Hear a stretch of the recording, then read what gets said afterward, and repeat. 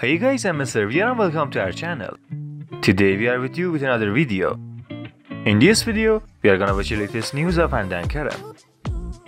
Yesterday was a great day for those who love Hande and Kerem, because new photos and videos of Hanker was like a bomb. Hande was in the simplest trailer yesterday that exploded social media. It was a great and beautiful video that everyone admired her in it.